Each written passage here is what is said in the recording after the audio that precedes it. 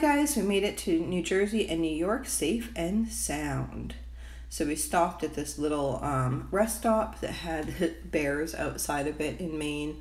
Uh, we stopped there because people needed to use the bathroom, and we had some people who had gotten stomach sick on our trip down, and we needed to kind of clean up after that. And we ended up making coffee because we needed coffee. We woke up at four Actually, we woke up at three and we left at four so that we could make this trip and get a lot of hours under our belt while children were still sleeping. So they were waking up and getting ready. So then we stopped in Massachusetts. Um, some she had gotten sick again, and some people wanted to stop. They just needed to stretch their legs. So you can just Google search parks, and I Google search parks, and I found this fun park. they had a um, a fire truck outside and there was some picnic tables and stuff and so the kids were able to um, play at this park that was in Auburn which was good because it was like in between right before we were going to switch on another highway so we made it finally to New York City. We were excited when we first saw um, New York City, although it had taken so long. So most of the people in the vehicle were totally done with traveling by that point. So we left at four in the morning and we planned to be there by three in the afternoon. That was the first check in time. And so we were trying to do that, but there were a lot of accidents on the road that we were on. We tried to avoid some, but it didn't really work out to avoid all the accidents. Um, and so we were sitting a lot um, on that trip from like Connecticut into New York. So we ended up our arrival time was almost six o'clock. It was like five minutes before six. So we were actually delayed like three hours. So we had been on the road from four in the morning until six that night. It was a long day. They do have like little rest stops you can stop off, which is nice on that road. I think it was 15, which was really nice.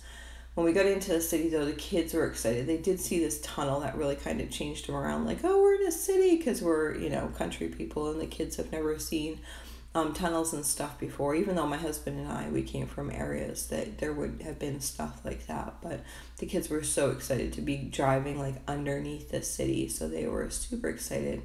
It is really hard actually driving now in the city, even though we like grew up around driving on highways and stuff, but it's been so long. So we arrived in our, our hotel room, and the kids were just so ready to get in their snuggly jammies, but not exactly ready for bed because they had been sleeping on and off all day.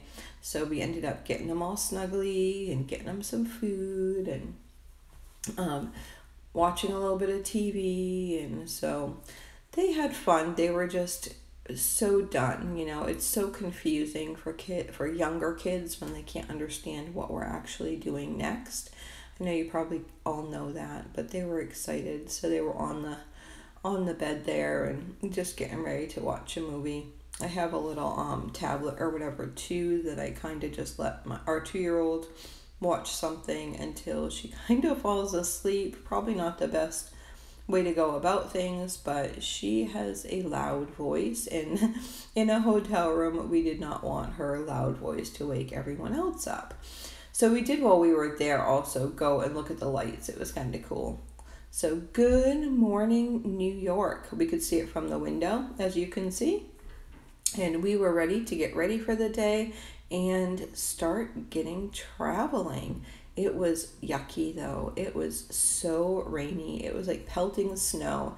You have to go through like airport security to get um, to the Statue of Liberty and Ellis Island, and then you had to wait outside. So that was not the best waiting outside experience we have experienced. It was it was cold and it was snowing slash sleeting, and the wind was just like blowing it into your face. It was horrible. Um, but I, we were trying to stay positive and just like, okay, hopefully it will clear off. And it did. Um, praise the Lord that it cleared off because if it had been like that all day, um, it would have been a really rough day. And so that was our cruise. They still had fun. They were so excited. So they were on a boat, which they hadn't been on before, and they were looking at like everything outside because there's lots of um, different boats in the area so you could see the boats going back and forth and then they could um, they could see like the Statue of Liberty when we got closer. Um, what they do is they take you to Ellis Island first and then to the statue. But because the day was so yucky, we pretty much had the boat with maybe 20 other people. So here's our family. We were just on the boat for the first time, so excited. Um, so yeah, you can pretty much have the boat to yourself. There was only literally like a handful of people that were on that same boat, and those boats can have a lot of people. I think there was maybe you know, 15 other people on the bottom deck and other people were up on the top deck. And they're fully heated. There's restrooms on there. There's like a little like food place. It's really kind of crazy. And then they saw the Statue of Liberty for the first time and they were just like, that is what we were waiting for, you know, because they're like, okay, we're on a boat, and then they don't, they didn't really believe it till you actually see it. It is kind of an amazing moment when you can see what you've been waiting for, you know, the whole time. So they saw they saw her and they were so super excited. Um, the bottom half of the brown part is called the pedestal. So we um, climbed to the pedestal and um, we had pedestal tickets, not crown tickets. You can cl- climb to the crown, but we just um, you have to get those tickets three months in advance, which we had thought about, but then we decided that we wanted to do it all as a family because you can only have four people climb. And then it wouldn't have really been fair for other people and all that type of stuff. But really, it's 195 steps to get up that pedestal. And it's actually quite a bit of work. I had to stop a couple times. I was wearing the baby. And um, I had to stop a couple times because my shoulder was bugging me, and yep, here we are at Ellis Island. Um, so we went to Ellis Island first, which was a huge building. I didn't realize how big it was going to be, and just the like architecture and stuff, like in and outside the building, to me was just amazing. I love looking at old archi- architecture, if that's a word. I'm not quite sure. Um, I love looking at that. Actually, on the way down, they had like stone walls, and it was really cool. Um, so they were just checking out everything. These were some of the outfits that um, that a family came in on. So they have that in one area. Um, I think that was on the third floor. They actually participate in like the junior ranger program. So we got a booklet and we were taking the junior ranger like programs. There's different things that they have to find throughout the museum. Um, some people were interested in it, some people weren't interested in it. I think the Ellis Island is really cool and interesting for older people. Um, the younger kids were kind of bored.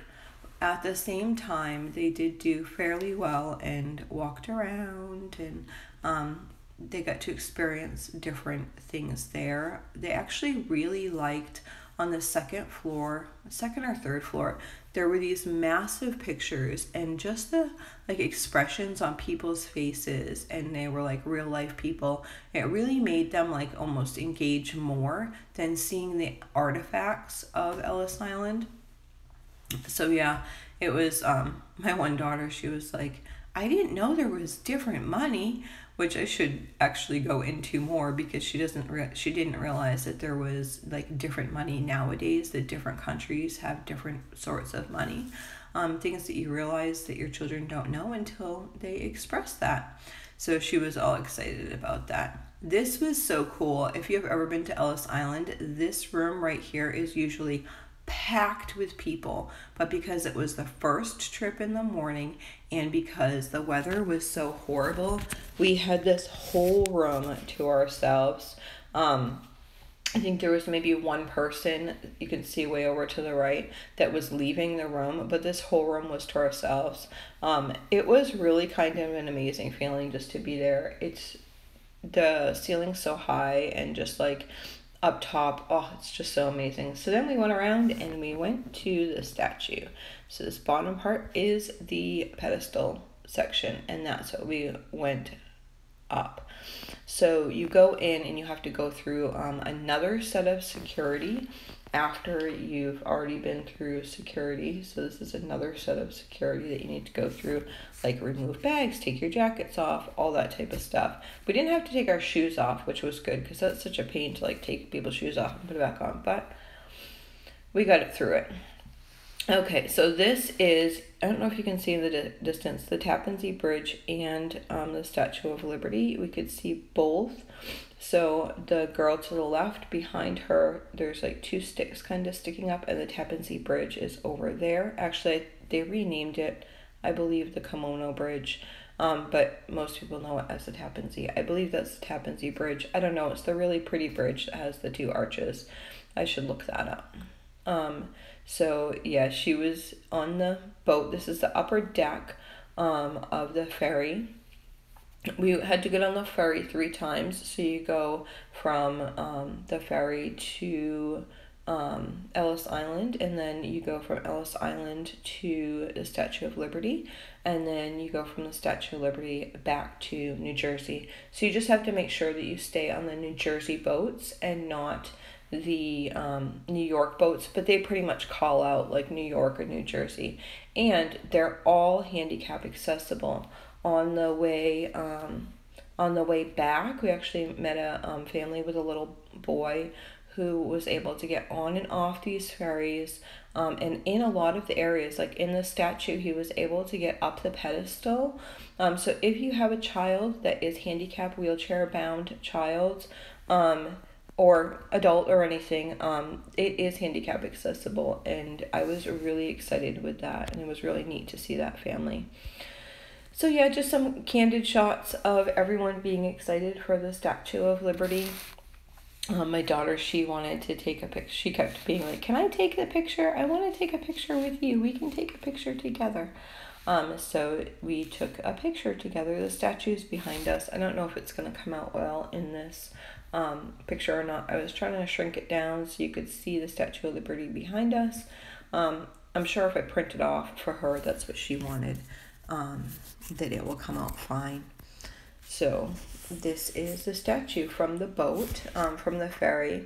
You can get a really clear, they slow right down at like different points. The ferry does not go fast, um, especially in that area. So you're able to take all your pictures that you want to. The boats still were not crazy by the time we went there.